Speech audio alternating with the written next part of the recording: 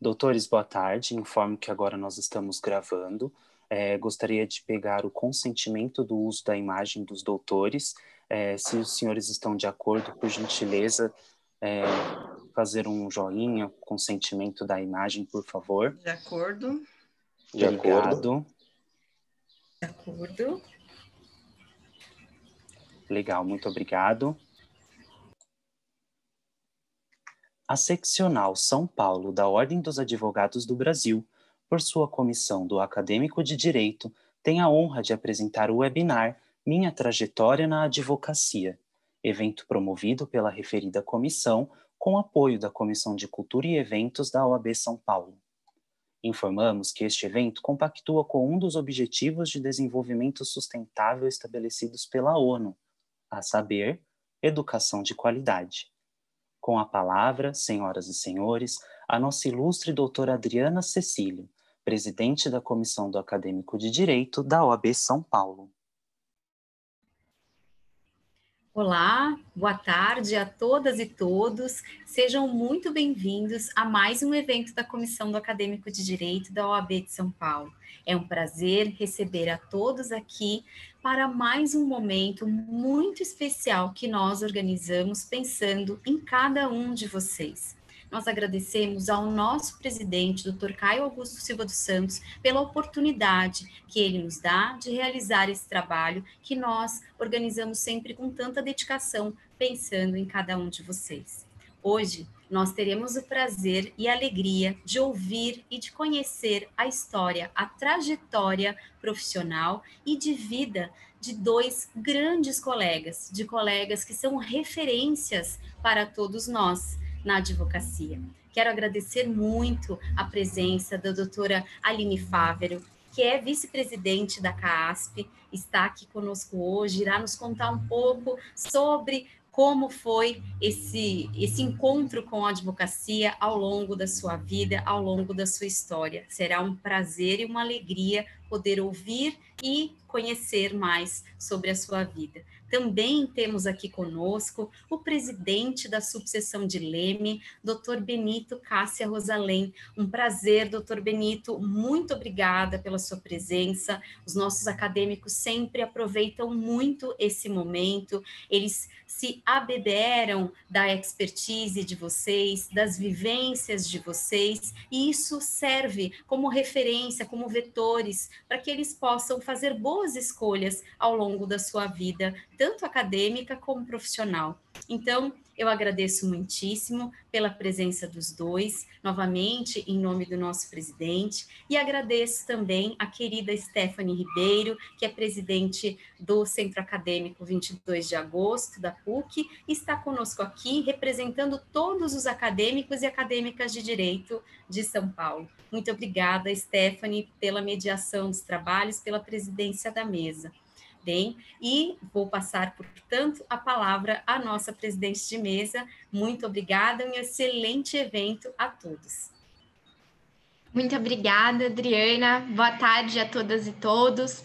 Antes de tudo, eu queria aqui agradecer o convite da Comissão do Acadêmico do Direito para participar desse webinar e eu quero também parabenizar a Adriana pelo excelente trabalho que a comissão tem desempenhado como estudante de direito, eu posso falar com a maior convicção que é inegável que a atual diretoria da UAB São Paulo está fazendo um trabalho incrível e muito importante na aproximação dos estudantes de direito da UAB São Paulo. E eu fico muito feliz de, de certa forma, estar fazendo parte dessa história, participando desse evento.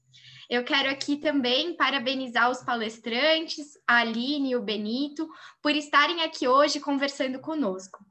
E eu acho muito importante também dizer que esse webinar é muito importante para nós, estudantes de direito, porque, de forma geral, as faculdades abordam muito pouco sobre as carreiras jurídicas e nós frequentemente nos deparamos cheios de dúvidas e incertezas. E por isso é tão bom ouvir advogados de destaque falando sobre as suas trajetórias na advocacia, para que assim nós, nós possamos nos inspirar e ter as nossas dúvidas sanadas. Então, muito obrigada. É, agora, eu vou passar a palavra para Aline Fávero. Ela é vice-presidente da Caixa da, de Assistência dos Advogados de São Paulo. Muito obrigada, Aline. É, estou muito ansiosa para ouvir a senhora contando um pouco sobre a sua trajetória. Muito obrigada, Stephanie. É um prazer estar novamente aqui nos eventos dessa comissão, pela qual eu tenho tanto carinho Comissão do Acadêmico de Direito, presidida pela nossa querida doutora Adriana Cecílio, que vem desempenhando um trabalho magnífico com eventos de muito sucesso, de muita qualidade, de muito conteúdo. Então, é uma grata satisfação ter sido convidada para mais uma webinar desta comissão.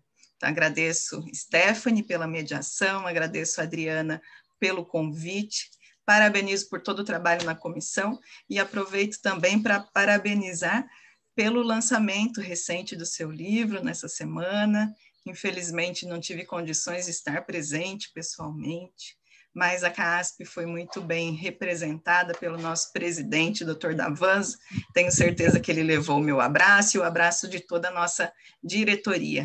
Desejo muito sucesso em breve tenho certeza que vou adquirir meu exemplar e faço questão do autógrafo. Então, nós vamos marcar um café aí em São Paulo para que eu possa ter o um exemplar do seu livro.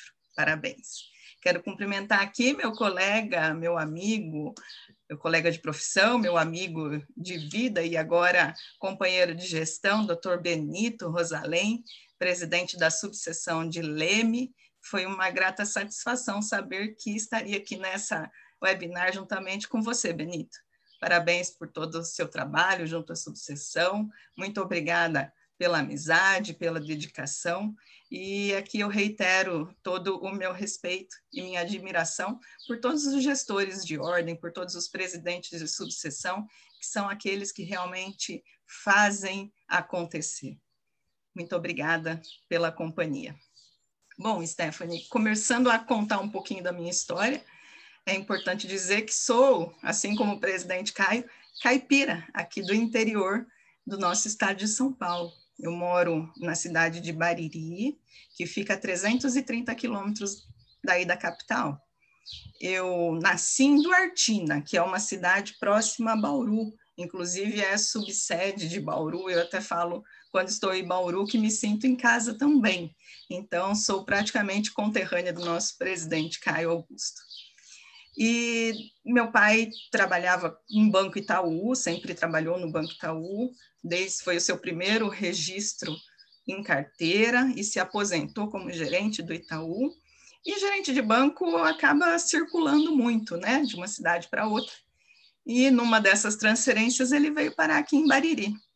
E eu ainda muito criança, é, comecei a frequentar escolas aqui de Bariri e, e, meu pai gostou muito da cidade, a tranquilidade de ser uma cidade pequena e de ser uma cidade bastante acolhedora e acabou por criar raízes aqui na cidade onde estou hoje, há mais de 30 anos, na cidade de Bariri.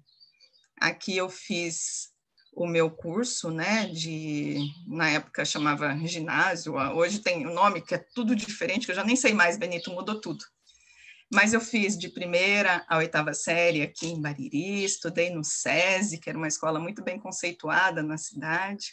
Depois o colegial fiz dois anos aqui na cidade de Bariri também, e um ano em Jaú, na fundação de Jaú, que é uma cidade próxima aqui, 30 e poucos quilômetros de Bariri, então viajava todo dia a Jaú para estudar. E sempre tive, sempre fui uma boa aluna, viu? Eu sempre fui uma pessoa muito dedicada e muito disciplinada naquilo que fazia. E sempre fui uma boa aluna nas matérias de humanas, de história, de português. Passava muito bem também em matemática, em ciências, mas não era a minha predileção. Gostava bastante de ler, de escrever. E quando cheguei no colegial, não tinha dúvidas nenhuma que partiria para a área de humanas. Gostava muito dessa dessa área do direito, e tem um, um fato curioso, que tivemos um problema quando eu estava na oitava série, com uma professora aqui, e o assunto foi, foi judicializado. E o juiz, na ocasião, aqui me lembra até hoje, Marcos Porto, acabei encontrando com ele nessas andanças nossas pela vida, ele quis ouvir todos os alunos da escola. Então, nós ainda, com 14, 15 anos, fomos chamados aí ao fórum.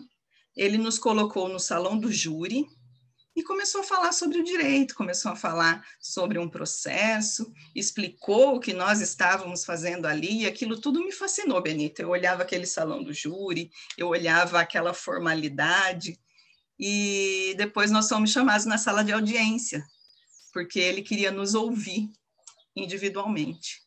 Fui para a sala de audiência, isso aí, olha, eu tinha estava no primeiro aconteceu na oitava série, depois o processo correu, acho que eu estava no primeiro ou segundo colegial, quando fomos chamados para essa audiência. E aí foi o meu primeiro contato com o mundo forense. E eu acho que, eu acho, não, eu tenho certeza, que a partir dali eu tomei gosto pela coisa e me defini pelo direito. E também teve um outro fato de que um advogado aqui de Bariri, a filha dele, estudava comigo. E nós tínhamos um trabalho para fazer da escola e precisávamos ler a Constituição. E eu fui na casa dele, porque eu trabalhava em grupo, e eu falava para ele, né, o tio, é, esse livro aqui da Constituição, ele falou assim, a Constituição não é um livro, ela é uma Constituição. E eu fiquei com aquilo na minha cabeça. Então, é a Constituição. Aí lemos, ele explicou o trabalho, fizemos o trabalho, acho que não me lembro, mas devemos ter tirado boas notas naquela ocasião. E a partir daí eu comecei a me interessar muito pelo direito. Fui fazer vestibular e prestei, acho que três ou quatro vestibulares aqui na região para o direito muito nova ainda, porque saí do colegial com 18 para 19 anos e uma pessoa do interior que a gente não tinha essa essa visão de estudar na capital, então eu optei por ficar aqui mesmo na região e prestei faculdades aqui na região. E como a única faculdade que tem aqui próximo estadual era a Unesp de Bauru, nós tínhamos lá o curso de psicologia, que era o mais próximo da área de humanas. Eu falei, ah, vou tentar psicologia também. Para minha surpresa, eu passei em psicologia em quarto lugar na Unesp. Aí saiu o resultado do vestibular de direito, eu passei na de Bauru, passei na de São Carlos e tinha matrícula feita em todas e precisava optar. É, recebi com muita surpresa, as pessoas é, olhavam para mim e não acreditavam que eu tinha aberto mão da minha vaga numa faculdade estadual, aprovada em quarto lugar, para fazer direito numa faculdade, numa faculdade privada. Mas eu optei pelo direito. Eu não tive dúvida nenhuma. E naquela ocasião foi a decisão da minha vida, né? Embora ainda se hoje, eu não sei se eu tenho tempo agora, mas mais para frente, se eu tiver tempo, até gostaria de cursar psicologia, que eu acho um curso bastante interessante, e parti para a faculdade de Direito. Comecei a estudar em Bauru, uh, viajava todo dia, Bariri é 60 quilômetros de Bauru, da, até da porta de, daqui de onde a gente pegava o ônibus até a porta da faculdade, uma hora de viagem, então saía todo dia daqui de, de Bariri, seis horas da, da tarde, chegava em Bauru às sete, estudava até às dez, voltava para Bariri, chegava aqui entre onze e onze e meia da noite. Passado um ano da faculdade, é, eu sou a segunda de três filhos, meu irmão também fazia faculdade, a minha irmã estava fazendo cursinho, e meu pai, só ele trabalhando em casa, é, vida de gerente de banco não é nada fácil, mas também não tínhamos assim grandes dificuldades de ter passado dificuldade econômica, sempre tivemos tudo o que precisávamos, embora sem muito luxo, sem, sem, sem nada de ostensivo, mas sempre tivemos uma vida boa. E eu falei para meu pai que eu queria trabalhar, e ele disse que não precisava. Ele falou: não, você precisa estudar. Passado um ano de faculdade, eu recebi um convite de um amigo aqui, que não tinha nada a ver com direito, mas que era da associação comercial aqui da minha cidade, que estava precisando de uma pessoa para cobrir as férias de alguém. E ele falou: Ah, você não está de férias? Vai lá cobrir as férias para gente. Isso era janeiro. Aí eu conversei com meu pai, ele falou: Tá bom, se for só para um mês, tudo bem. Fui lá, trabalhei um mês. Passado um mês, o presidente me chamou e falou assim: Você não quer trabalhar conosco? Quero te efetivar. Aí voltei a conversar com meu pai.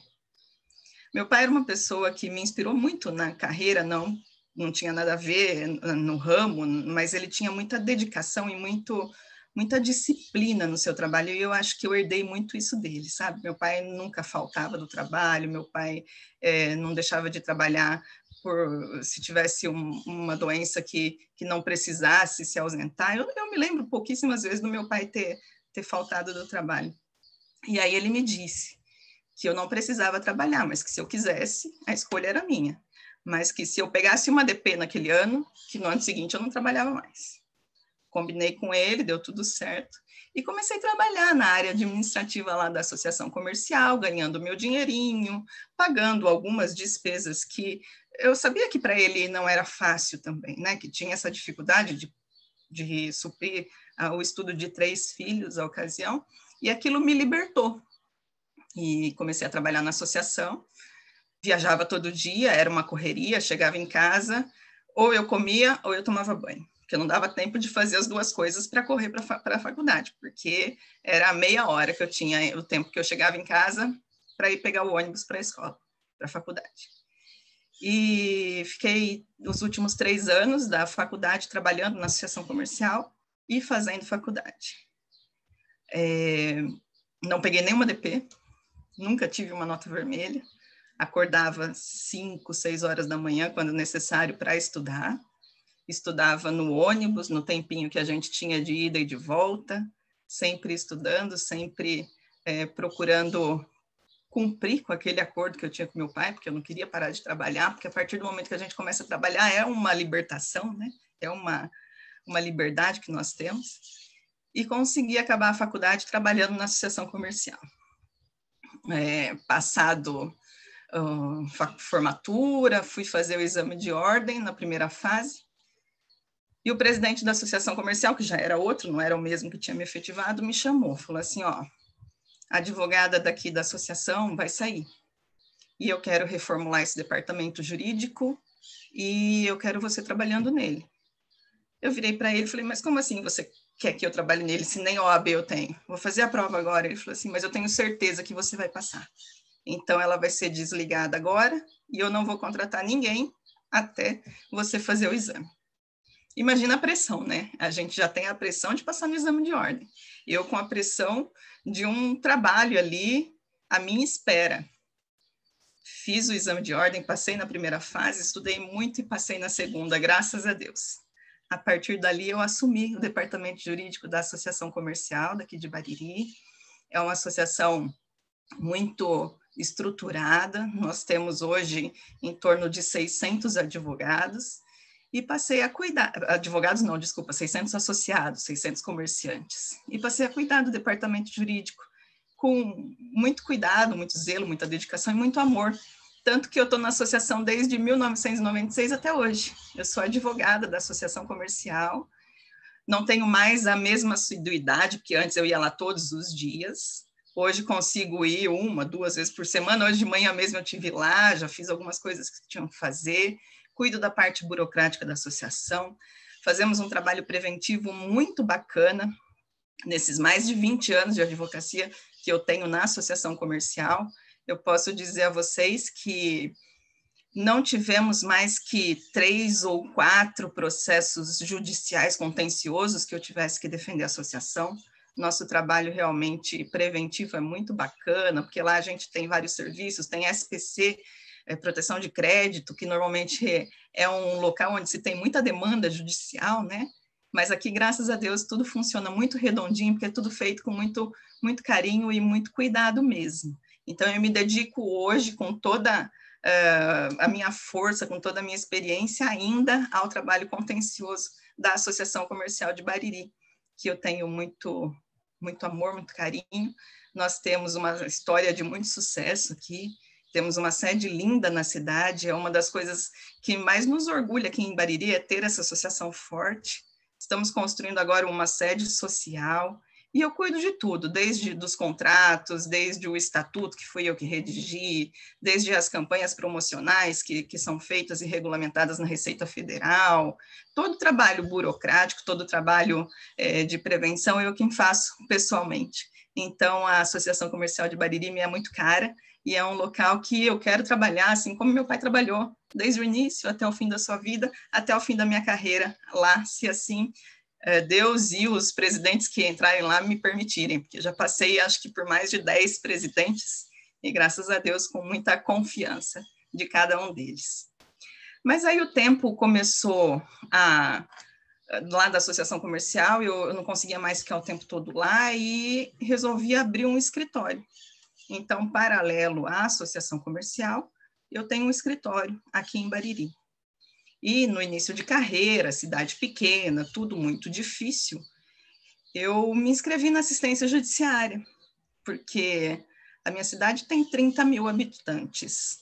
O teto da assistência judiciária hoje é de três salários mínimos. Então, aqui em Bariri, pouquíssimas pessoas ganham mais, ganham mais de três salários mínimos.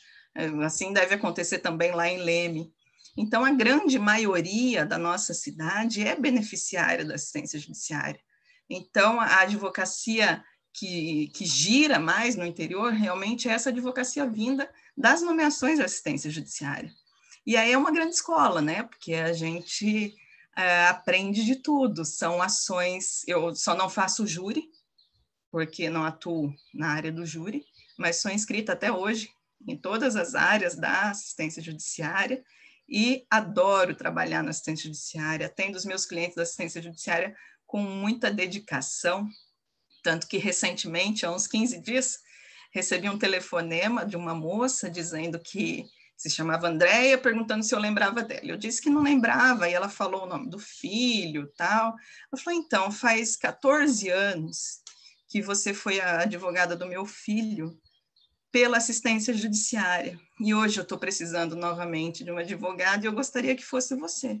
Quero marcar um horário, quero conversar. Então, é muito gratificante que a gente tenha esse reconhecimento, né? Uma pessoa que uma hora precisou e foi atendida pela assistência judiciária, hoje tem possibilidade de me contratar e 14 anos depois volta ao meu escritório e faz questão de que eu seja a patrona nesse processo também. Eh, assistência judiciária foi também a minha entrada para a vida institucional, porque desde quando me inscrevi no convênio, fui convidada a participar da comissão de assistência judiciária aqui da subseção. Primeiro como membro, então participava ali ativamente das atividades como membro, e depois o presidente me convidou a ser a coordenadora da comissão da assistência judiciária sempre desenvolvi esse trabalho com muita dedicação, porque é, é muito gratificante você poder ajudar as pessoas que estão ali e que a gente sabe que não tem condições de pagar e que a OAB proporciona através desse convênio profissionais abnegados, qualificados e que vão resolver o problema daquela pessoa. Principalmente numa cidade pequena, porque tudo gira em torno da OAB. É, a pessoa vai na, no, no, serviço de saúde não consegue, as pessoas já falam, não, vai na OAB que você consegue. A pessoa está no serviço social, não consegue, não, vai na OAB que você consegue. E comecei a desenvolver esse trabalho da assistência judiciária. Passado algum tempo, é, eu fui ser presidente da Associação dos Advogados de Bariri. Aqui nós temos uma associação dos advogados que antecede a subseção. Quando Bariri ainda não tinha a subseção da UAB, nós éramos ligados à subseção de Jaú. E Jaú, depois de um certo tempo, conseguiu que Bariri virasse subseção, mas mesmo assim a associação se manteve, com a finalidade de entretenimento, com a finalidade de serviços diversos do que a OAB oferecia à época, e ela é desde 1971. Isso também foi um grande aprendizado na minha vida, porque a partir do momento que comecei a advogar, fui convidada por uma advogada amiga minha a integrar a Associação dos Advogados, e na Associação dos Advogados o nosso convívio mensal me fazia muito bem, sobretudo com os advogados mais antigos, os mais experientes. E eu nunca tive vergonha de perguntar, de me socorrer da experiência deles, de pedir opinião. E a associação sempre trazia essa possibilidade de nos nossos encontros mensais eu estar mais próximas daqueles advogados, porque eu era uma menina ainda com 20 e poucos anos. Então ali eu estava de igual para igual, próxima aos advogados mais renomados da cidade, aos advogados mais experientes da cidade, e graças a Deus eu sempre tive um ótimo contato com todos eles, tanto que é, depois da minha gestão como presidente da Associação dos Advogados de Bariri, eles é, me incentivaram a ser presidente da OAB aqui da minha cidade. E eu fui presidente da minha subseção por dois mandatos, de 2010 a 2012, depois de 2013 a 2015 fui reeleita. Na minha primeira eleição, eu disputei com um advogado mais experiente que eu, ainda eu me recordo como se fosse hoje, que ele falou assim para mim, Aline, você tem uma vantagem e uma desvantagem em relação a mim. A vantagem é que eu não vou poder participar aqui da boca de urna porque eu tenho audiência o dia todo. E a desvantagem é que eu sou mais velho que você. Então, se empatar, eu vou ser o presidente, não você. Ah, que bom, né? Então, aqui empatamos nas vantagens e nas desvantagens. E depois eu fui eleita presidente aqui da subseção e na minha reeleição eu não tive adversários, eu fui chapa única. Então, sinal de que eu consegui, juntamente com a minha diretoria, fazer um bom trabalho aqui, tanto que fomos referendados novamente a sermos os diretores no, na gestão seguinte. Nesse período, eu continuei com o meu escritório, continuo até hoje, trabalhando na área civil e de família, com todas aquelas dificuldades que, que nós sabemos da, das cidades menores, da, da advocacia em si, mas eu pude levar também essa experiência, essa necessidade à nossa OAB. Trabalhei, enquanto presidente, na Comissão Estadual da Assistência Judiciária, que foi aí que conheci o Guzuco, a Islã, Júlio, Luiz Eugênio, Margarete, trabalhávamos todos juntos nessa comissão de assistência judiciária. É, a partir daí surgiu uma grande parceria. É interessante como a nossa vida nos faz cruzar com pessoas que, que têm os mesmos valores, que têm a, as mesmas vontades, que têm uh, a mesma, o mesmo pensamento e o mesmo ideal. E eu encontrei essas pessoas na minha vida, além do presidente Caio, lógico, que já tive contato com ele desde a primeira vez que fui presidente. Eu era presidente em Bariri, ele presidente em Bauru, e ele sempre se destacando muito, sempre nos levando junto com ele, e tanto que ele me encaminhou para esse trabalho na assistência judiciária, uma vez que ele também assumiu a presidência da assistência judiciária no seu último mandato como presidente da subseção de Bauru. E a partir dali nós começamos a fazer um trabalho muito bonito na assistência judiciária, é, e sempre levando essa visão da pessoa que trabalha num escritório pequeno, que trabalha sozinha, que trabalha na assistência judiciária, para a gestão da OAB de São Paulo. Quando também fui convidada a ser conselheira na gestão de 2016 a 2018. Mesmo com todas as outras atribuições do conselho, eu continuei trabalhando na assistência judiciária com a Islam, é, a gente, eu e Luiz Eugênio, o Islã e Luiz Eugênio, a gente continuou com essa parceria que rendeu bons frutos, né? Presidente da comissão hoje é o Dr. Luiz Eugênio, que vem realizando um trabalho magnífico, inclusive concretizando muitas coisas que sonhávamos desde lá de trás, era muito distante da gente, por exemplo, a certidão eletrônica e nessa gestão ela já é quase uma realidade, né? Ela ainda não é eletrônica, mas ela já é virtual, ela já pode ser encaminhada de maneira virtual. E a assistência judiciária sempre foi o meu campo de atuação. Paralelo a isso, eu fui convidada a, aqui não tem faculdade, né? Bariri é uma cidade muito pequena, não tem faculdade, mas tinha um, uns cursos técnicos que vinham de Jaú, da ETEC, que formavam técnicos em administração, técnicos em contabilidade, e tive a satisfação também de, durante três anos, lecionar direito para essas pessoas que faziam um curso técnico eh, na ETEC. Hoje nós não temos mais esse curso aqui em Bariri, até porque teve uma mudança ali na, no formato dele, que ele não pode mais ser feito da maneira como era feito antigamente. Mas eu tive essa oportunidade também de ter essa atuação na, na docência, ainda que num curso é, técnico, mas foi uma, uma experiência muito bacana, onde a gente valoriza cada vez mais os professores, né, Adriana?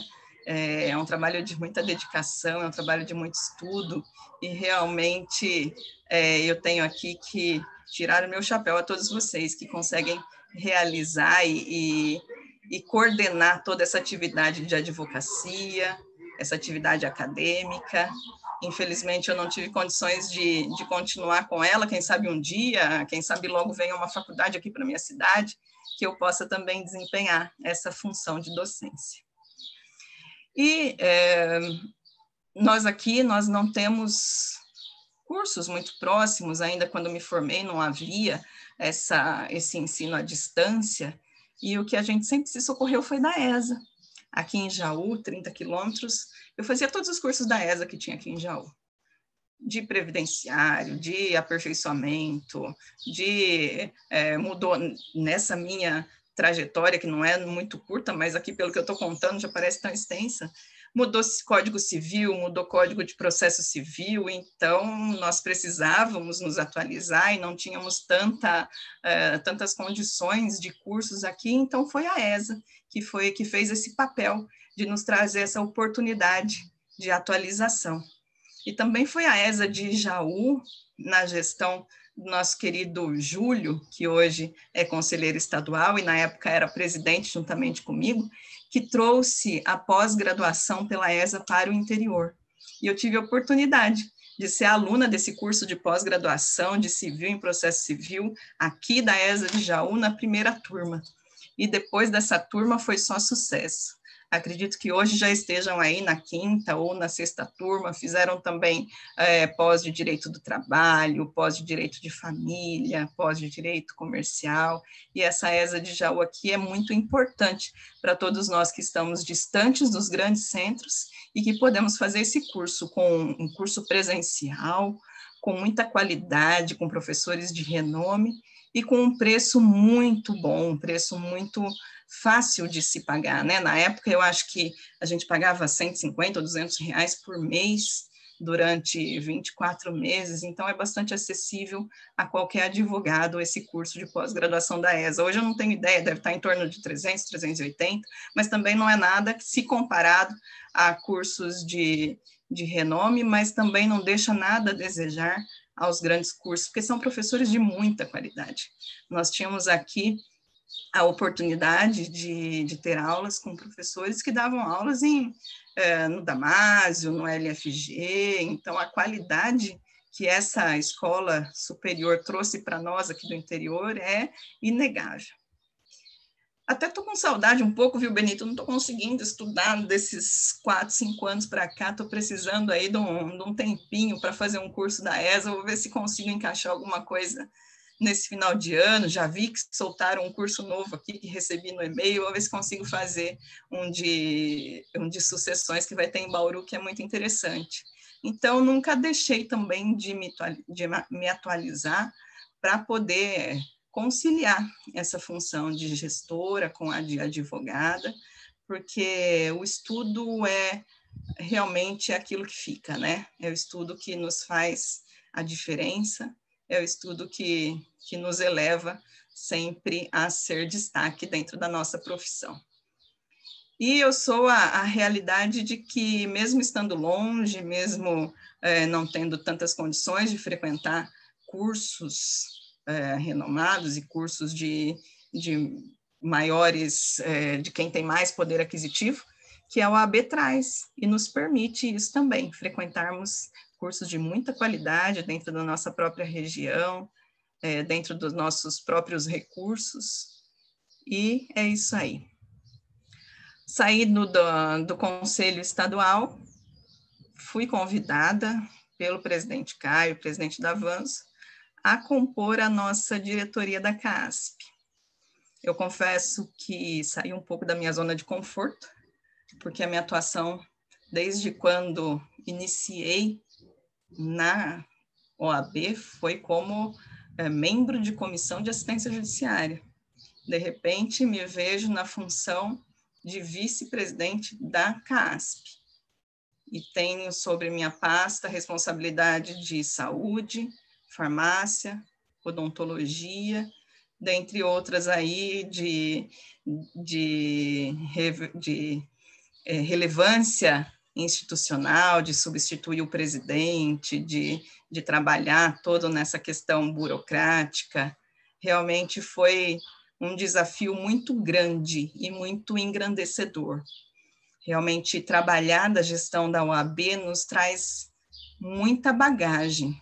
Primeiro, é, pela qualidade das pessoas com quem nós nos relacionamos, né? Eu tenho oportunidade, tive oportunidade de conhecer o presidente Caio há mais de 12, 13 anos. Então, todo conhecimento que tem o nosso presidente, quem conhece o presidente Caio sabe da bagagem de conhecimento, da sabedoria que ele tem.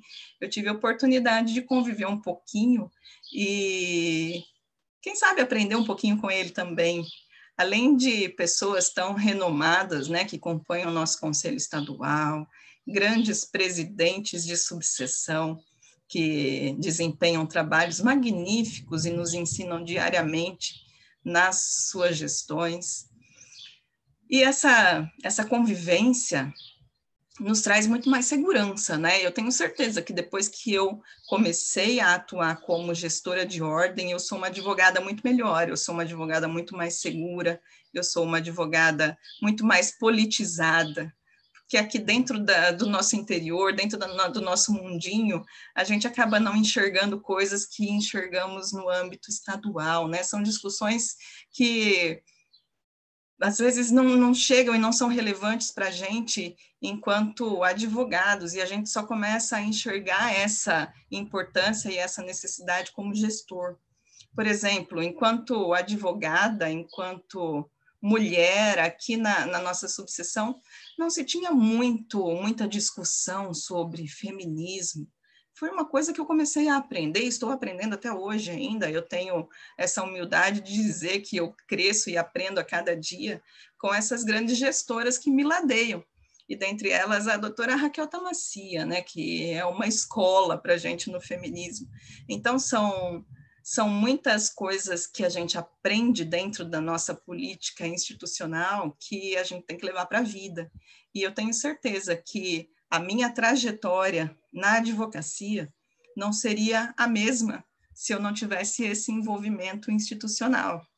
E esse envolvimento institucional, ele vem do amor, né? Porque a gente não conhece, a gente não consegue amar aquilo que a gente não conhece. Então, primeiro o amor à profissão, depois o amor à nossa instituição. Precisamos estar dentro dela, precisamos é, conhecer o funcionamento dela, Precisamos conhecer as pessoas que fazem parte dela, para que então a gente possa amar e que a gente possa a ter essa missão também de cuidar e de servir.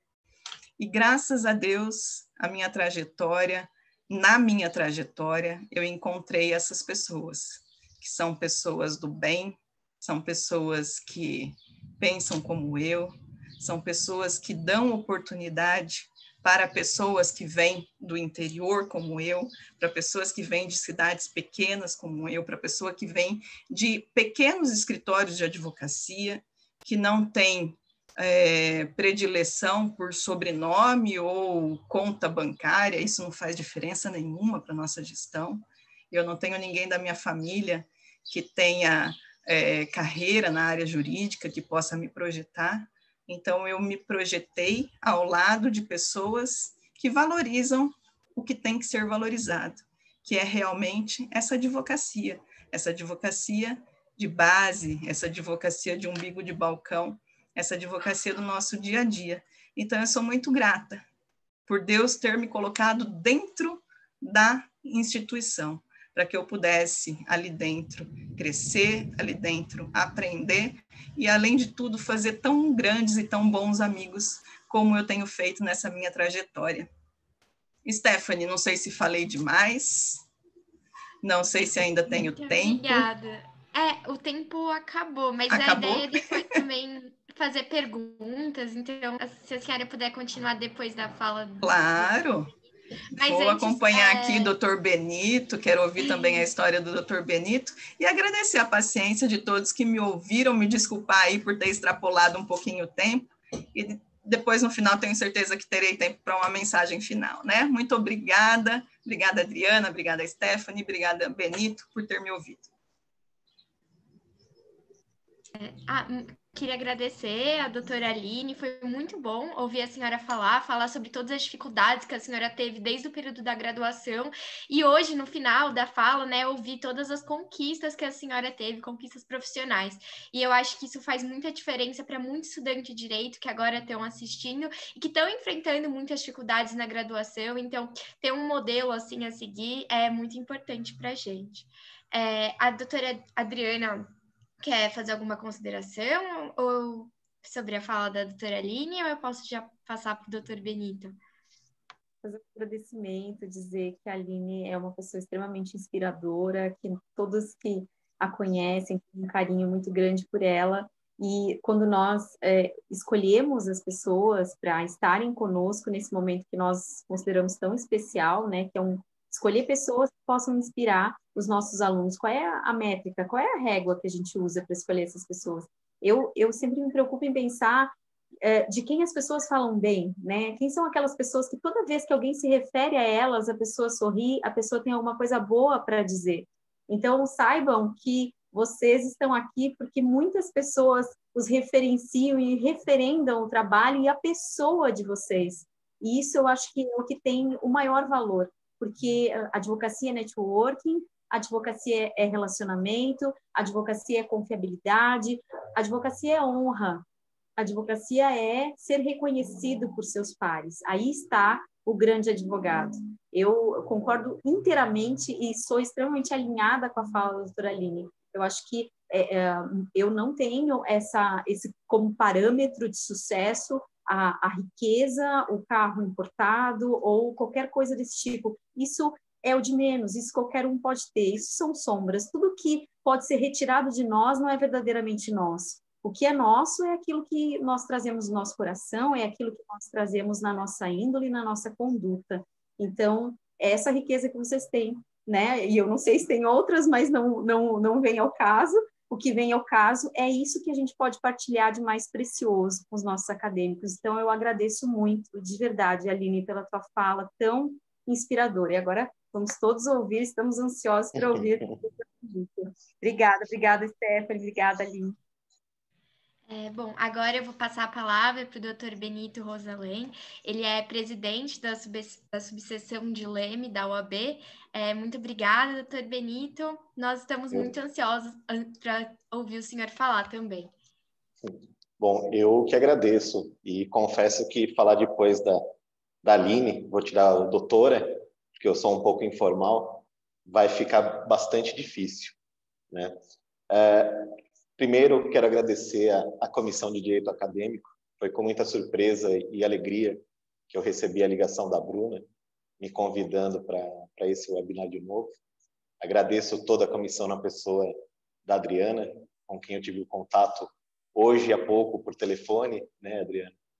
É, agradeço aos acadêmicos de direito que nos escutam hoje, na pessoa da Stephanie e de alguns alunos de Leme que se encontram é, no nosso webinar. Não tenho como deixar de agradecer a Aline como vice-presidente da Caixa, assim como todos os, os, diretores da CASP, que sempre nos dão é, todo o amparo necessário na condução da subseção, e também da OAB São Paulo, na, na pessoa do Dr. Caio, que, que realmente, é, hoje o interior tem voz. Eu posso, eu posso afirmar, sou testemunha disso, e na minha explanação eu vou dizer por quê. Tá? Aline, que bom que você resolveu sair da sua zona do conforto. A advocacia paulista e paulistana agradece. Bom, quem que é o Benito? Né? É, assim, de forma diferente da Aline, eu sou paulistano, sou nascido em São Paulo, ingressei nos quadros é, da Faculdade de Direito na Faculdade Metropolitanas Unidas, na Liberdade, a FMU. Por lá cursei dois anos, né? E acabei transferindo a minha faculdade, o meu curso de Direito para a Faculdade de Direito de São Carlos. Então, eu me formei, hoje é extinta FADISC, e acabei voltando para São Paulo para advogar. Aqui no interior eu era, eu era concursado numa cidade que se chama Santa Cruz da Conceição, que tem perto de 4 mil habitantes, vizinha Leme. Depois de formado, pensei, poxa, eu fiz cinco anos de direito. Assim como a Aline, nos últimos anos, viajava de Leme ou de Pirassununga até São Carlos e voltava no mesmo dia. Então, por que jogar esses cinco anos fora? Prestei a OAB, passei na primeira, né, com, com toda aquela, aquela ansiedade, aquela pressão, e passei a advogar em São Paulo. Por que eu escolhi o direito? Minha mãe, funcionária pública, educadora, meu pai, bacharel em direito, porém é, também agente público da Polícia Civil, e dentro da família, alguns advogados que, que eu sempre gostei muito. Meus tios, meus primos, que eu sempre acompanhei, é, tanto na época de faculdade, quanto também na advocacia. Sempre gostei muito também de história, de português. Ao contrário da Aline, não ia bem em matemática, tampouco em física. Tinha pavor de tudo aquilo. E a, a, área de humanas acabou sendo a, a, a minha escolha à época. E hoje eu vejo que foi a, a mais correta.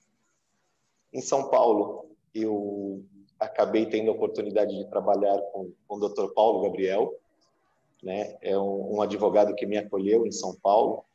Ele tinha um escritório de pequeno para médio porte, mas tinha muitos bons clientes. E eu fazia a área do consumidor. Nessa área do consumidor, eu conheci todos os fóruns da capital, conheci todos os centros integrados de cidadania, conheci todos os juizados especiais cíveis, inclusive os anexos das faculdades, e isso me trouxe uma bagagem muito grande, muito grande mesmo. Cansado da vida paulistana, já com duas filhas pequenas, fiz a opção de vir para o interior. É, onde morar? Tivemos a ideia de ir para Bauru, em razão das faculdades. É, a minha ex-esposa, à época, fazia o curso de fonoaudiologia também, mas resolvemos vir para a região de Leme e Pirassununga. Montei meu escritório em Leme em 2006 com um colega daqui, que havia trabalhado na, na, prefeitura de Santa Cruz da Conceição, e passei a residir em Pirassununga, que é a terra do, do meu pai, é, já falecido. Viajava também todo dia. Muitos perguntam: Nossa, você morando no interior, morava em uma cidade e trabalhava em outra? É, Para quem é de São Paulo, vai me entender. De porta a porta, eu demorava exatos 18 minutos, 17 minutos. Em São Paulo, às vezes, para ir de um fórum a outro, demorava duas horas. Então, a, a qualidade de vida é, realmente me, me apeteceu no interior e aqui fiquei. Em Leme, hum, tive a oportunidade de fazer parte de uma comissão também da assistência judiciária, assim como, como a doutora Aline. Fiquei por volta de dois ou três anos junto é, à ex-presidente daqui, doutora Valquíria, e aqui fixei meu escritório, um escritório pequeno também, com as, as dificuldades do dia a dia. Aqui acabei voltando mais para, para a área trabalhista, né, patronal, foi a área que eu escolhi fazer aqui, mas a gente muitas vezes não consegue se especializar apenas em uma área no interior. A gente acaba fazendo um pouco de tudo ou fazendo parcerias para que a gente consiga dar conta de tudo. É, não somos conhecedores de tudo também. Então, parcerias, aqueles que ingressarem ah, na, na, faculdade de Direito e depois vierem para os quadros da Ordem dos Advogados, assistam às palestras do, do nosso amigo Marlon de Jales, que fala muito em parceria. Ouçam que, que terão bons bons exemplos. Estou aqui até hoje, né? É, que mais que eu posso dizer para vocês? Hoje faço uma pós-graduação em Direito Constitucional e Eleitoral junto à Faculdade de Ribeirão Preto da USP. Foi uma área que fiz nas últimas eleições, gostei e procurei me especializar, porque eu acho que quanto mais conhecimento temos naquilo que a gente quer e gosta de fazer, melhor para o nosso cliente, melhor para a gente também. Seremos mais seguros e o nosso cliente será melhor representado. Portanto, estudo sempre. É, assim como a Aline, também entendo que a educação é um instrumento de transformação, não só da pessoa, mas também da sociedade. Eu acho que quanto mais preparada a população ou o cidadão estiver, menos ele aceitará ou ele mais questionará algumas ações ou omissões. Então, educação. Como sou filho de educador, irmão de educador, é, foi daí que, que eu fui criado, foi daí que eu sempre convivi e é nisso que eu acredito. É, nisso que eu acredito realmente. A, a, meu pai faleceu muito cedo, a minha mãe como educadora, todo mundo fala, nossa, professor ganha muito mal, é mal remunerado, poxa, qualquer outra coisa ganha mais. Realmente, são pouco valorizados, mas trabalham com muito afinco e com muito amor, e eu sou exemplo disso. Eu, eu sou fruto de, de uma funcionária pública que trabalhou até seus 60, 70 anos e, e, e nos deu uma condição de vida muito melhor a minha e a minha irmã do que ela teve a minha história dentro dos quadros da OAB. Cheguei aqui como um estranho em Leme, né, em 2006. Fui muito bem acolhido pela advocacia lemense, muito mesmo. Não, não preciso mentir, tampouco ser muito político. É, a advocacia do interior, é, é, ela nos acolhe de uma forma como se se fôssemos realmente daqui. Assim foi comigo. Então, em 2015, é, nas eleições da, da OAB, acabou surgindo a oportunidade de eu concorrer a primeira vez com uma chapa, uma chapa para a diretoria. Ali nós perdemos por cerca de oito votos é, para a ex-presidente, que acabou indo para o quarto mandato. E em 2018 nós repetimos o projeto e saímos vencedores. Eu costumo brincar com todos os advogados daqui, que eles acolheram muito bem e agora chegou a, a minha vez de retribuir. Já que eles tiveram muito mau gosto em me eleger como representante deles, vamos trabalhar para isso. É, no começo da minha fala, eu falei que, que eu sou testemunha das diferenças que haviam entre a advocacia paulistana e advocacia do interior ou do litoral. É, em São Paulo, tínhamos muito mais benefícios, farmácia, livros, o acesso à CAASP, é, os próprios serviços da OAB São Paulo. E quando eu vim para o interior, eu acabei sentindo um pouco de falta disso. Mas, como frequento São Paulo pelo menos a cada 15 dias, ou a, casa, a cada 30 dias, agora um pouco menos em razão da pandemia, sempre fui na farmácia, sempre fiz a minha vida ali. E nessa gestão eles estão olhando para a gente. Eles estão tentando trazer ao interior, é, com as dificuldades que temos, porque somos em 250 subseções quase, salvo engano, 600 e tantos municípios. É, então, o que nós vemos é, é realmente um acolhimento da, da diretoria junto à classe advocatícia, sem ver se é da capital, sem ver se é do interior, sem ver se é do litoral, ou sem ver o sobrenome ou a conta bancária, como disse a Aline. É, é, uma, é, uma, é uma gestão que tenta acolher a todos, realmente. Hum, confesso aqui que não os apoiei em 2018, a Aline sabe as razões.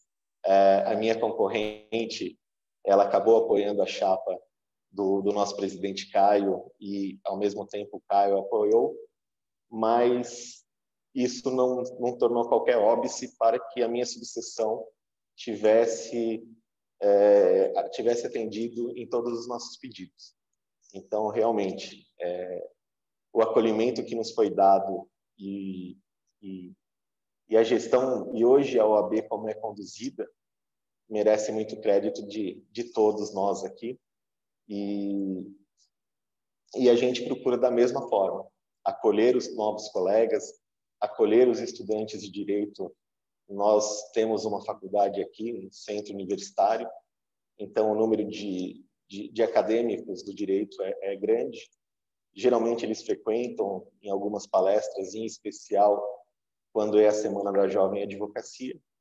Então a gente tenta trazer esse link, porque eles serão futuramente advogados, pertencerão aos nossos quadros, e eles que nos conduzirão, porque eu sou passageiro, a Aline é passageiro, é, você, Adriana, também é passageira.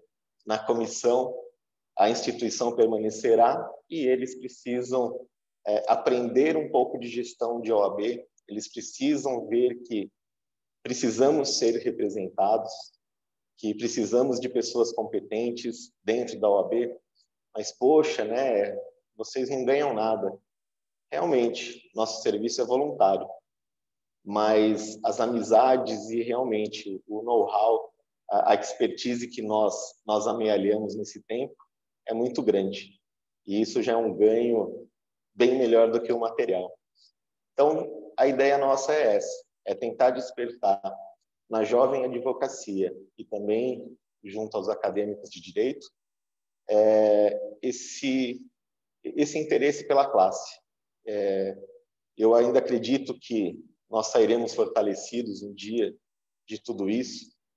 Tento ao máximo a união da classe aqui em Leme e também junto às demais subseções da nossa região, junto à seccional, porque eu acho que unidos nós nos tare... nós conseguiremos nós conseguiremos a valorização que tanto buscamos e e uma classe muito melhor, muito mais atuante, muito mais na defesa do cidadão, a nossa autoridade máxima, como sempre frisa o, o presidente Caio, e também em defesa das prerrogativas dos advogados. É, acreditamos que onde seja discutido o direito é necessária a presença de um advogado. Temos que seguir o nosso artigo 133 da Constituição. Então, a nossa briga é, é um pouco árdua, porém ela é muito ela é, ela é muito satisfatória. Ela nos ela nos traz um, uma epifania, como podemos dizer, né, Aline? Ela nos traz a, a, aquela, aquele sentimento de, de que estamos no caminho certo e que a nossa função está sendo cumprida. Eu não tenho uma história muito interessante como a Aline, né? Mas, assim, esse, esse é um pouco do, do Benito na advocacia e um pouco do Benito como gestor de ordem. Na advocacia, eu sou jovem há mais tempo, como sempre diz o nosso Leandro Nava, e como gestor de ordem, eu sou um novato. Eu tenho um ano e meio e procuro sempre me espelhar naqueles que passaram por mim aqui e que passaram em outras subseções e principalmente naqueles que nos conduzem hoje junto ao AB São Paulo e a casa, que nos atendem a qualquer hora, a qualquer momento, em qualquer meio que seja, e-mail, SMS, WhatsApp, telefone, Instagram, tudo. É, espero ter passado, despertado um pouquinho do acadêmico de direito a, a, o interesse pela advocacia. Às vezes o, o, concurso público é muito mais brilhante, né? Porque vai ter uma estabilidade, vai ter alguma coisa. Mas pensem na advocacia. A advocacia é muito gratificante. E como a Aline falou, como você falou, Adriano, o material não é tudo. Nós precisamos para sobreviver, mas não é só isso. A gente tem uma vida e uma sociedade pra, pela frente para ajudar. Bom, é isso. Não sei se era o que vocês esperavam, né? Não sei se eu pulei alguma coisa, mas esse é o Benito, hoje presidente da subseção de Leme, e, antes de tudo, advogado. Obrigado per, novamente pelo, pelo, pelo convite e a subseção de Leme está à disposição de todos aqui para que conheçam, em especial os estudantes da nossa região, para que conheçam a OAB, para que conheçam é, como funciona a, a nossa instituição e também que frequentem as nossas atividades. Como disse, o conhecimento é sempre útil. Fica aqui meu convite.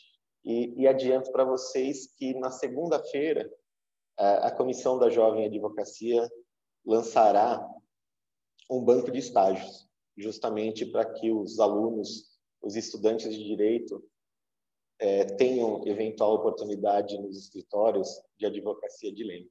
A gente vai tentar fazer esse link justamente para para trazer um pouco, tornar um pouco mais próximo o, a academia, né, a, os estudantes, a, a advocacia de hoje. Muito obrigado pela oportunidade. Aline, obrigado realmente por ter saído da sua zona de conforto. Né? É, como eu disse, agradecemos. Stephanie, obrigado. Parabéns pela sua atuação junto ao, ao DA da PUC. Né? É, eu acompanho nas redes sociais e acho que você está no caminho certo. Tá? Muito obrigado mesmo. Muito obrigada, doutor Benito. Foi muito bom ouvir o senhor falar. Achei incrível a iniciativa do Banco de Estágios. Eu tenho certeza que os acadêmicos vão adorar também. É, antes, eu queria fazer uma pergunta, inclusive, com relação aos estágios, mas antes eu vou passar a palavra de novo para a doutora Adriana, para ela fazer suas considerações sobre a fala do doutor Benito. Mas depois quero ouvir os senhores mais sobre os estágios. Obrigada, Stephanie. Stephanie impecável, né? A Stephanie tá institucional total, já é uma presidente nata de mesa, daqui a pouco, muito em breve, estará conosco como expositora. Uma, é, agradeço imensamente, Stephanie, pelo carinho, pela condição desse trabalho de forma tão primorosa. Bom, que falar, o que dizer, né, doutor Benito? São tantos os desafios, mas eu, eu, o que me chamou muita atenção na sua trajetória e é uma, e é uma, uma informação, acho que extremamente valiosa, porque muitos advogados podem é, estar nessa situação tipo, olha, estou um pouco cansado de estar aqui em São Paulo, mas será que é uma opção ir para o interior? Será que eu vou conseguir viver no interior? Será que as pessoas vão me receber bem? Será que não tem aquela coisa já meio bairrista? Ah, eu venho de fora, então ninguém vai te procurar porque já tem os donos das áreas dentro da cidade e tal. E de repente o senhor trouxe uma fala tão acolhedora, tão é, uma referência tão bacana. E veja, eu jamais imaginaria que uma, uma sucessão importante como o Leme, né, fosse é, eleger uma pessoa que não é nata da cidade, né, não é um, um, natural da cidade. Então, veja, realmente, de fato, o doutor está falando que ocorre um acolhimento e está provando esse acolhimento, o quão, o quão verdadeiro é. Então, é, eu achei muito interessante isso. Acho que muitos acadêmicos talvez estejam é, aqui em São Paulo e muitos acadêmicos do interior também. Nós, nós estamos com uma rede grande de alunos, de acadêmicos que nos acompanham, que são do interior. Então, é, traz muita esperança essa, esse olhar, essa ideia de que há espaço para crescer na advocacia do interior. Então, ao invés de pensar, ter aquela mentalidade de tipo, ah, tem que me formar e vou tentar trabalhar na, na capital, então existe um, um campo próspero para que os, os, os, acadêmicos se desenvolvam e desenvolvam a sua advocacia no interior. Achei extremamente interessante a sua Sim. fala, importante, e traz uma mensagem é, potente aí para os nossos acadêmicos. É, se me permite, Adriana, é, como você disse, eu tinha muita dificuldade em pensar em sair de São Paulo após oito, nove anos advogando e realmente vir para o interior para me estabelecer aqui. Mas eu acho que é espaço para todos. É, como a própria Aline falou ali na, na explanação dela, é, essa atual diretoria ela demonstra que a advocacia não está só em São Paulo, né? É, não está só ali no Itaim Bibi, nos Jardins, ou na Avenida Paulista, ou em outros bairros somos 430 mil advogados. Então, existem profissionais muito qualificados no interior, assim como existem muitos profissionais qualificados em São Paulo.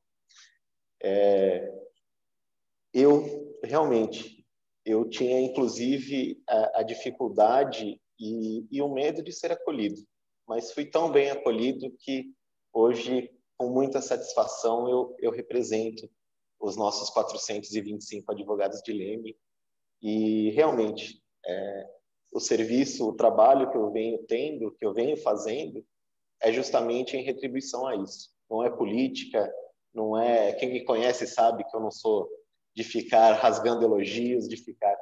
Mas eu acho isso. Como me acolheram muito bem. E eu já trouxe uma bagagem de outras cidades. Eu sempre viajei muito na advocacia. Frequentei a região, frequentei Vale do Paraíba, frequentei o litoral de São Paulo. É, eu tento trazer coisas boas que eu via nessas outras subseções, nessas outras cidades, e não repetir erros que vi nessas outras subseções e nessas outras cidades. Espero deixar a subseção melhor do que eu encontrei. É, não que o, o trabalho anterior tenha sido mal feito, mas eu espero agregar alguma coisa e deixar alguma coisa para aqueles que me acolheram muito bem mesmo. Há a vida no interior, a vida no litoral, a advocacia em todos os cantos. tá? Obrigada, obrigada, doutor Benito. Obrigada, Stephanie. Retorno a palavra para ti. Fique à vontade agora para as perguntas.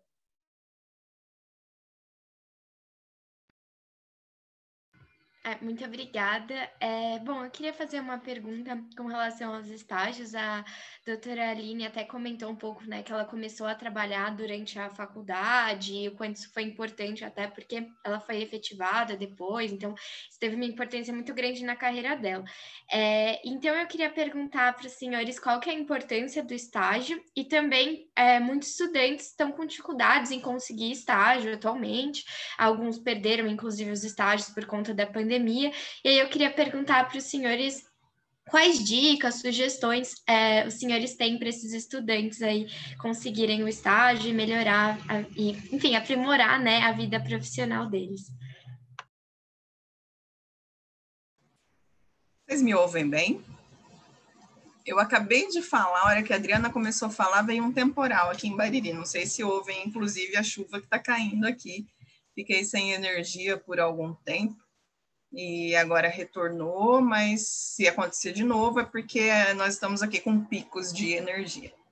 Bom, é, eu acho que o aprendizado que o, o estágio traz, ele é de grande importância na vida do acadêmico, né?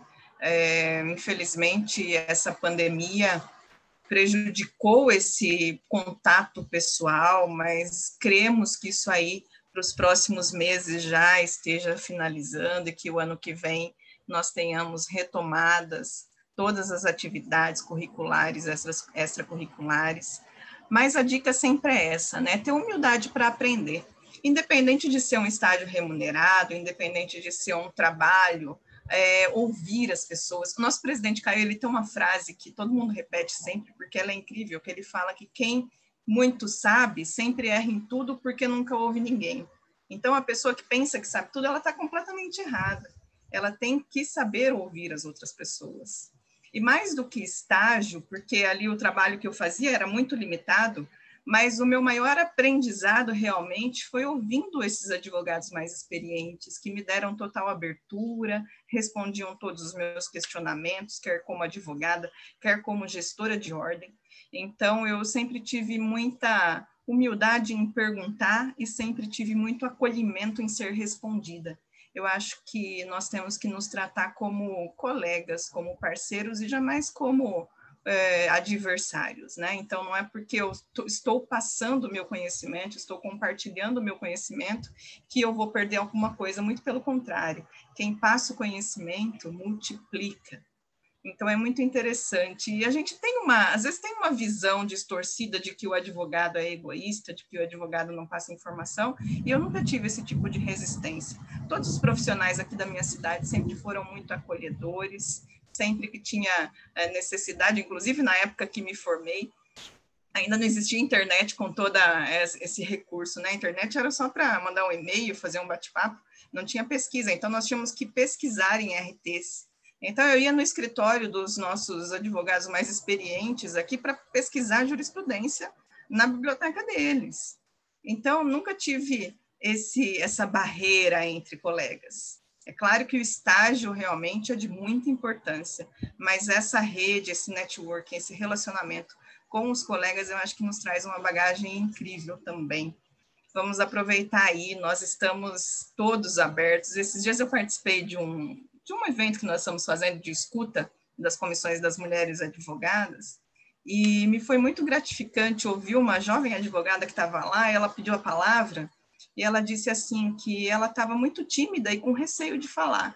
Mas quando ela viu nós conversamos, de, conversando de igual para igual, batendo papo ali, sem, sem demonstrar que alguém é melhor que alguém, que ninguém é melhor que ninguém, ela se sentiu à vontade, pediu a palavra e pôde falar. Então, isso realmente é bastante gratificante, nós podermos nos fazer com que as pessoas se reconheçam nessa gestão.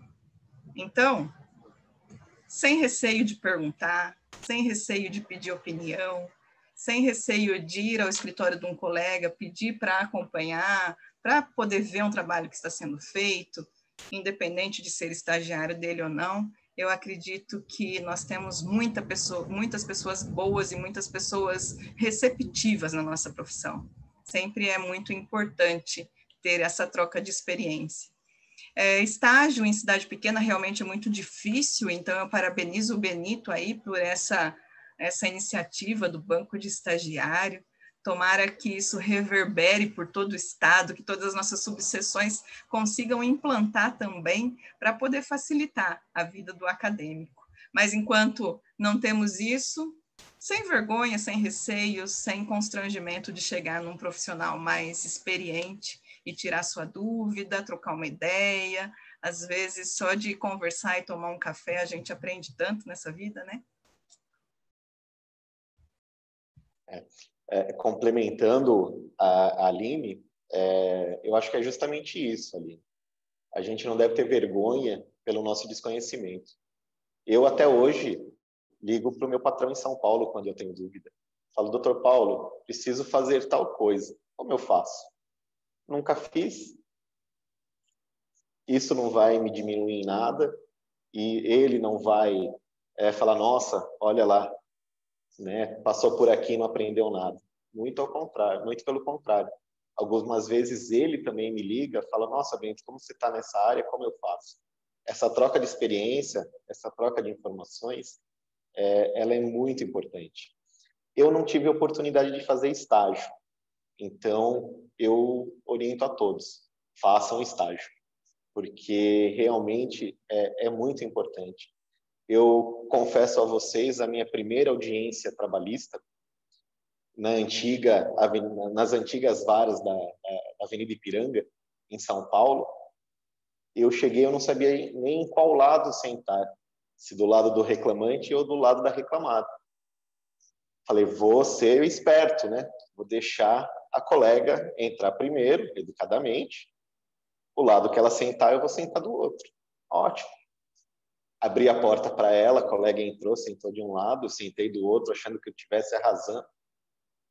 Ela também era a primeira audiência dela, sentou do lado errado. O juiz virou para a gente e falou: quem que está representando a reclamada ou reclamante? Pode sentar em qualquer lugar, mas é tão mais fácil, é, é tão mais corriqueiro a gente ver quem está à direita, quem está à esquerda, né? Levantamos, trocamos e ali eu aprendi. Então, se tiverem a oportunidade de, de um estágio, façam. Façam, porque é, vai valer muito a pena na vida profissional. Realmente, é, nos escritórios do interior, que geralmente são menores, são advogados que muitas vezes trabalham só ou em dois colegas, contratar um estagiário às vezes se torna oneroso e muitas vezes ele quer oferecer o estágio, o acadêmico do direito, ele quer fazer o estágio, mas não há esse link. Então, a, a presidente da Comissão da Jovem Advocacia, a qual eu agradeço é, o trabalho que, que, que ela realiza aqui, a doutora Josiane, ela teve essa ideia junto com, com os membros e a gente já era para ter colocado em prática. Mas, como disse a Aline, a pandemia nos trouxe é, muitos afazeres, né, Aline, na gestão da, da OAB, e também nós acabamos tendo uma, uma crise, não só sanitária, mas também monetária, porque foi uma fase muito difícil da advocacia. É, vai ter um reflexo disso ainda, espero que a curto prazo, mas, como disse, eu acredito que a gente vai sair melhor de tudo isso, que lá na frente um dia a gente vai vai vai vai ver os erros, nós iremos ver os erros que cometemos para que não ocorra novamente. E assim que que o tal do normal voltar, eu acho que a advocacia vai ter muito serviço. Alguns ramos já estão tendo.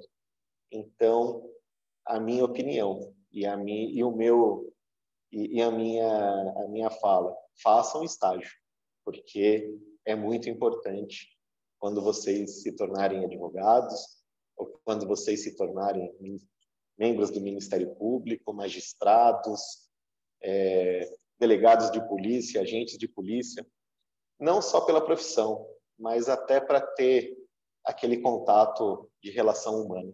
É, ali você vai fazer o seu networking, ali você vai realmente aprender um pouco da vida, da sua vida e da vida das pessoas com que você convive. E isso, isso tudo vai ser um, uma boa bagagem para torná-los melhor na profissão e como, e como cidadão. É, é, isso. Às vezes a gente fala demais, como todo bom advogado, né? Mas é isso, Stephanie. Eu acho que é extremamente necessário um estágio. Ah, muito obrigada. É, e eu queria fazer então, uma última pergunta, acho que eu escuto muito colegas, amigos que se formaram recentemente ou vão se formar agora esse ano, e parece que é um consenso entre todos eles, uma sensação assim, e agora, o que, que eu faço? Me formei e, assim, é, isso assim, dentre pessoas que fizeram estágio e também pessoas que não fizeram. Acho que quando não faz é maior ainda essa sensação. E eu imagino que os senhores também tenham passado por isso, ou pelo menos várias incertezas quando tinham acabado de se formar ou estavam prestes a se formar. E então eu também queria perguntar sobre isso, assim, é, que dicas, sugestões os senhores podem dar para essas pessoas? Porque eu imagino que também é, os senhores né, é, trabalham em escritórios pequenos, começaram a advogar. É, advogam, pelo que eu entendi, advogam so, sozinhos. É, isso também é muito difícil, né? E como começar? É, eu também queria perguntar sobre isso. Bom, conforme eu já falei, eu, a minha primeira atuação foi através da assistência judiciária. Então, a assistência judiciária é um aprendizado muito grande para o advogado que está iniciando. A gente vê muita gente reclamando né, da remuneração. É lógico que é uma remuneração que, que não é condizente com, com o trabalho primoroso, com o trabalho de dedicação que nós precisamos fazer a todas as nossas causas, independente se da assistência judiciária ou se constituída, mas ela nos traz uma bagagem muito grande. Primeiro, porque é o primeiro contato que nós temos, né, com aqui no interior, pelo menos, é o primeiro contato que nós temos com o litigioso. É, e o leque de ações que surgem, a quantidade tão diversificada de problemas que nos deparamos na assistência judiciária nos move a estudar, a, a saber de tudo, né? De tudo um pouquinho. Embora é, o ideal seja que se especialize em uma determinada área, mas no início de carreira eu acho que é interessante que nós podemos, que nós possamos testar todas as áreas, trabalhar no direito de família, trabalhar no direito civil, eventualmente no, no direito penal. Mas então a primeira dica é essa da assistência judiciária. Ganha-se pouco, mas aprende-se muito. Segunda dica, como o Benito já disse e o Marlon brilhantemente é, expõe nas suas palestras, são as parcerias, né? Se eu não faço direito trabalhista, eu recebo um, eventualmente um cliente procurando direito trabalhista, eu tenho que ter um advogado parceiro meu para que eu possa encaminhar esse trabalho a ele, que nós possamos depois, eventualmente, dividir os honorários. Porque é muito difícil, né, a, a, especialização aqui no interior. A gente tem, claro, que atuar em todas as áreas. E é muito complicado você dispensar clientes. Então, essa ideia da parceria é bastante interessante, porque você não uh, dispensa clientes, você divide cliente com outro parceiro. E, eventualmente, se o cliente chega no escritório dele, numa área que ele não atua e é a sua, ele vai fazer essa devolução. Então, é uma troca muito saudável, essa da parceria que é proposta pelo Marlon.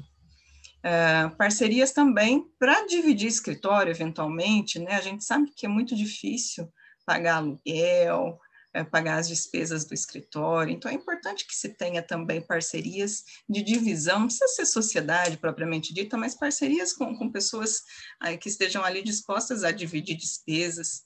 É muito difícil mesmo é, começar e a gente não sabe nem por onde começar, mas se fez ou não fez estágio, é, eu acho que todo mundo tem a mesma dúvida, porque a partir do momento que você se vê sozinho na profissão, é, com você e com mais ninguém, e normalmente a gente ainda é muito jovem quando começa, né?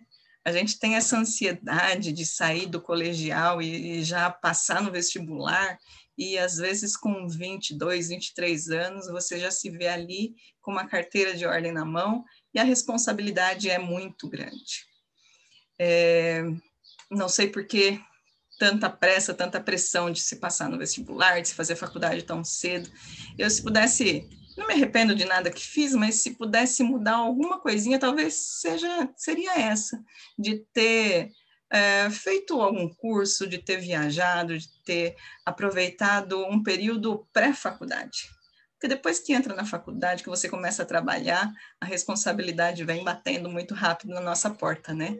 Mas essas duas dicas que ficam, assistência judiciária nas comarcas menores, onde se tem convênio é onde, principalmente onde não se tem defensoria, que gira um pouquinho mais, e as parcerias que são aí muito necessárias para se iniciar. Eu, eu sigo a relatora. Eu acredito que é, assistência judiciária, em especial no interior, é o caminho de entrada. Você acaba aprendendo um pouco de tudo e dali você pode escolher a área que você tem mais afinidade ou aquilo que você mais gosta. Em São Paulo, como comecei aí, a assistência judiciária é, ela não traz tantos casos ou, ou tantas nomeações como no interior. É um pouco mais difícil, mas também é necessário fazer. E eu tive a sorte de achar um colega cujo pai era era advogado e quando eu me formei ele precisava de um advogado. Então esse link, esse networking foi o que o que acabou me favorecendo à época. Mas realmente, quando você se forma, o que nós vamos fazer? Como eu disse antes, eu acho que há espaço para todos. Eu acho que quanto mais nós desejarmos aquilo que queremos é, nós conseguiremos. E empenho, empenho, estudo, qualificação. A OAB nos oferece cursos, nos oferece palestras. Esses cursos, quando presenciais, nos fornecem o networking. Ali nós conhecemos colegas, ali nós conhecemos outros advogados, ali nós conhecemos áreas, ali nós conhecemos é, as coisas que muitas vezes nós não vimos na faculdade. Então, network, convívio e parcerias. Essa essa realmente é uma dica muito importante que que, que nosso amigo presidente de Jales traz em todas as palestras. Por que parcerias? Às vezes você não gosta de fazer penal, ou às vezes você não gosta de fazer trabalhista, mas seu cliente muitas vezes necessita de alguém que demande para ele nessas áreas. Você vai falar, olha, eu não faço, meu escritório não faz. Então, todo mundo acaba é, tendo um rendimento. Esse colega que você faz a parceria, quando alguma coisa que ele não faz, quando procurarem alguma coisa que ele não faça, ele vai indicar você. Então, esse, essa troca de experiência, essa troca de informações, é, essa troca de não troca de serviços, né? Essa troca de, de essas parcerias são bem interessantes. Eu eu acredito que assim como todo início pode nos causar um, uma certa, um certo temor, mas a, a fase passa e logo você já estará apaixonado pela advocacia. Eu tive um começo e um recomeço. Como eu falei lá atrás, a minha mudança para o interior, é, nós sentamos, eu sentei com a minha ex-mulher, eu sentei com as minhas filhas, que à época tinham seis e dez anos, né? E nós fizemos a opção. Foi difícil? Foi difícil.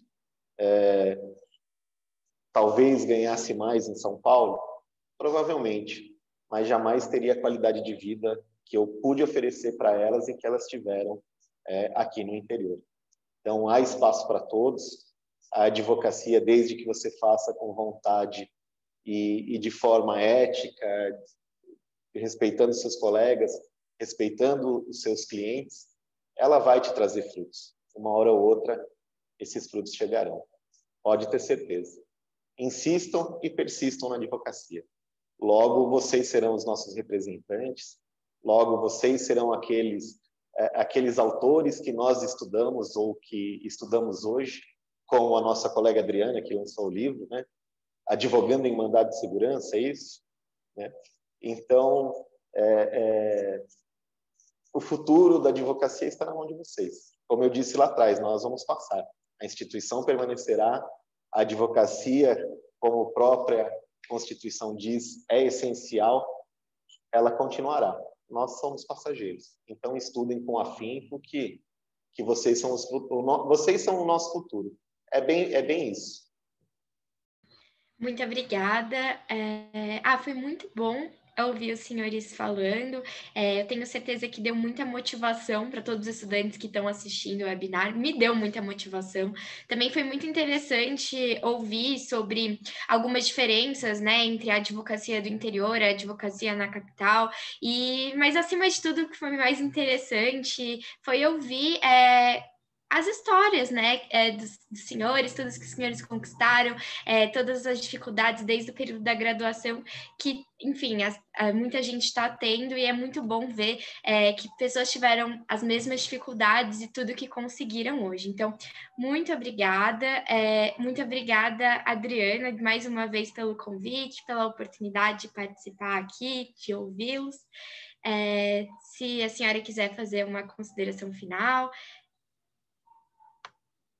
Pode falar. Não sei se os nossos expositores gostariam de fazer uma, uma, as suas considerações finais, para depois a gente poder finalizar o nosso evento. Podem ficar à vontade, por favor, doutora Aline, doutor Vinícius, sintam-se à vontade.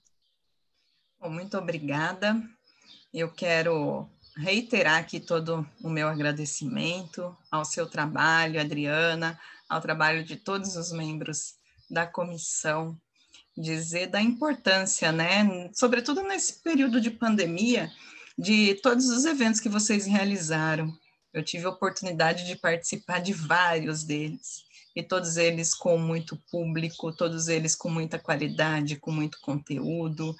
Realmente o trabalho de vocês é primoroso e os acadêmicos respondem né, ao que você propõe, isso é muito bom e muito gratificante da gente poder observar. Quero parabenizar também a Stephanie pelo trabalho no diretório acadêmico, pela condução desse painel. Realmente é uma promissora jovem advogada que tenho certeza que muito engrandecerá nossa instituição, porque com todo, é, com todo esse know-how e com toda essa capacidade de interlocução que ela tem, tenho certeza que nós não vamos deixá-la sem trabalho, né, Adriana? Já vai ter trabalho para ela assim que se formar. Parabéns e muito obrigada por toda a graciosidade. E aos acadêmicos e estudantes, deixar aqui a, a nossa mensagem de muito otimismo, né? É, realmente é, nós somos aquilo que nós plantamos, nós colhemos aquilo que nós plantamos. Então, plantando o bem, vamos colher o bem, plantando estudo, vamos colher o trabalho. É lógico que dificuldades nós temos em todas as profissões, mas a advocacia e o direito nos oferece uma oportunidade de diversificação dessas profissões, diversificação de ramos de atuação, e tem mercado para todo mundo, sim.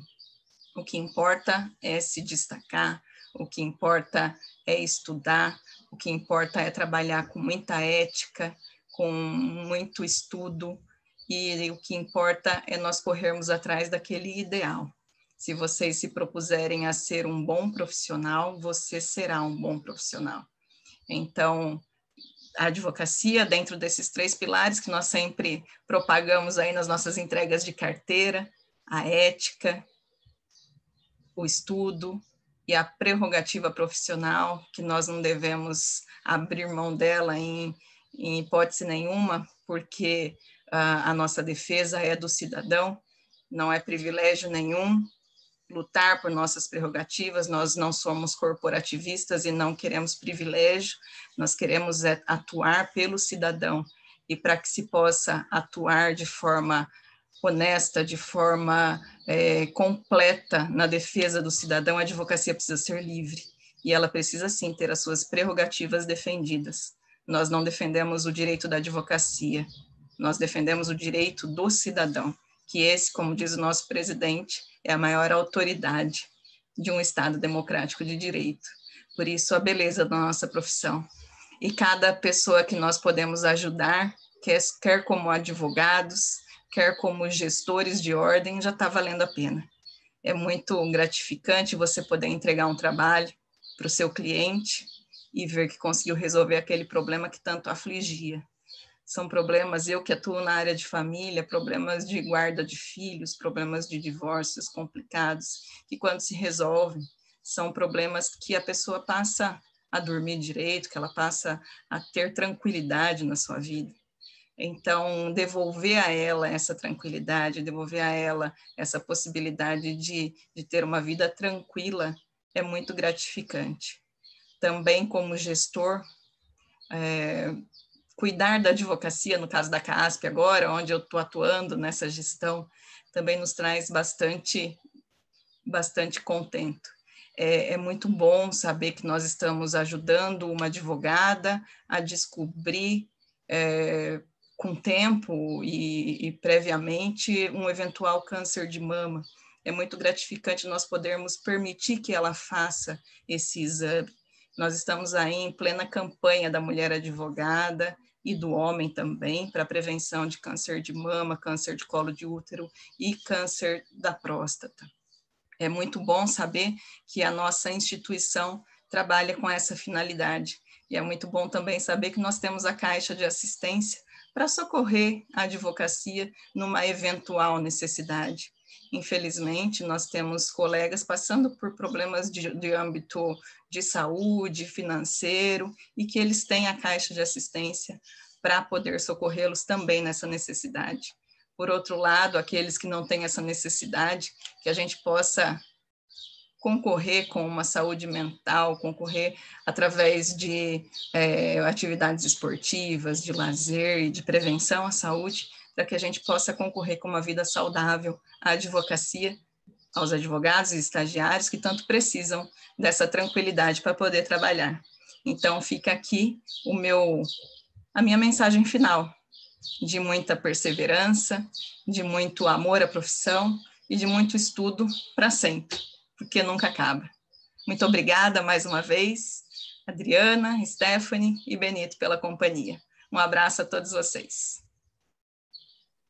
Bom, eu também reiterar os agradecimentos a você, Adriana, pelo convite. Fiquei muito surpreso e, e realmente muito feliz. É, agradecer a, a Stephanie pela mediação, parabenizá-las pelo, pelo, pelo trabalho que vem sendo feito pela comissão, é, esse link entre nós, advogados, e os estudantes, futuros advogados, é, é, eu acho que é muito importante. Me arrependo de não ter tido lá atrás, quando eu me formei, cerca de quatro, cinco anos. Né? Então, eu acho que esse é o caminho certo. Agradeço a Aline mais uma vez. É, muita honra a gente dividir a mesma telinha aqui, tá? E eu sempre trago comigo uma frase de, de, um pensador que eu gosto muito. Não, não é Sócrates, não é Rousseau, não é ninguém. É o Uncle Ben, o tio do, do Peter Parker, né, o Homem-Aranha. Ele fala que com grandes poderes têm grandes responsabilidades. Então, vocês formados, nós advogados, com os poderes que temos como advogados, como futuros delegados de polícia, ou futuros promotores, ou futuros magistrados, as responsabilidades vêm, vêm também. Então, é, estudem, preparem-se, porque eu acho que todos nós podemos contribuir para um, para um futuro melhor, não só de forma pessoal, mas também de forma coletiva. Obrigado de coração, obrigado a todos que nos assistiram, aos advogados e, e, e acadêmicos, e espero ter, com, com, a minha história, que, que não é muito grande ainda, é, ter contribuído com alento, com inspiração, alguma coisa desse tipo. Muito obrigado mesmo. Tchau a todos. Obrigada, muito obrigada. Obrigada, doutor Benito. Obrigada, Aline. Muito obrigada, Stephanie. E agradeço imensamente a presença de todos aqui. E a Aline comentou sobre uma coisa que é tão sensível, tão cara para mim, que é essa sensação de que nós estamos conseguindo fazer diferença no mundo né? Eu, o Dr. Benito comentou sobre essa alegria, né, de ser um presidente de sucessão, poder representar os colegas. A doutora Aline falou sobre esse desafio que é estar em contato, uma entidade que tem trazido um olhar tão sensível nessa gestão, trazendo tantas ações extremamente importantes e que acolhem uh, de uma maneira tão sensível e tão bonita toda a advocacia uh, do Estado de São Paulo. Recentemente, quero aqui fazer um, um, um merchan da, da, da, da, cartilha, eu achei maravilhosa, uma cartilha sobre os direitos das pessoas com câncer. É, sei que a minha amiga Miriam Ravanelli está à frente dessa, de, desse projeto, com, juntamente com outros colegas também. Quero deixar aqui ah, os parabéns a mais essa ação tão bonita e tão importante para toda a advocacia. Então, dizer que, é, de fato, nós não recebemos, o trabalho é voluntário, mas o pagamento é tão mais valioso do que qualquer coisa. Uhum. Na hora que caiu a, a sua luz aí, Aline, na hora que o temporal nos, te sequestrou de nós aqui, eu disse uma coisa que eu acredito profundamente, né? A, os bens materiais, tudo aquilo que pode ser tirado de nós não é verdadeiramente nosso, né? São, são sombras. As pessoas às vezes passam a vida inteira perseguindo sombras, quando na verdade o que é nosso, o que é verdadeiro é aquilo que nós somos.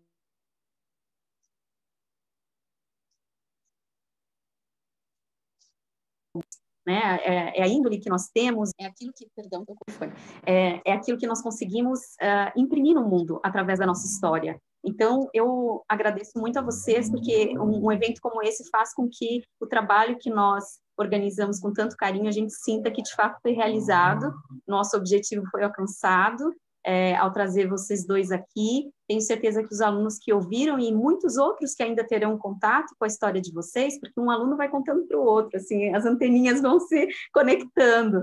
Então, é, muitas pessoas vão ter acesso à história de vocês, uma história bonita, uma história de luta, uma história inspiradora, uma história repleta de cada um com a sua realidade e que com certeza vai inspirar, inspirar muito os nossos acadêmicos a terem essa coragem e esse amor pela advocacia. Então, eu agradeço porque, através da história de vocês, vocês tornaram o nosso trabalho aquilo que a gente sonha, que é trazer mesmo aos nossos acadêmicos de direito este amor pela advocacia. Então, muito obrigada a todos, obrigada novamente aos nossos expositores, a querida Stephanie, e a todos que nos acompanharam e nos acompanham. Um beijo muito grande, obrigada e até a próxima. Tchau, tchau. Tchau, obrigado. Ah, obrigada. Ah, obrigada.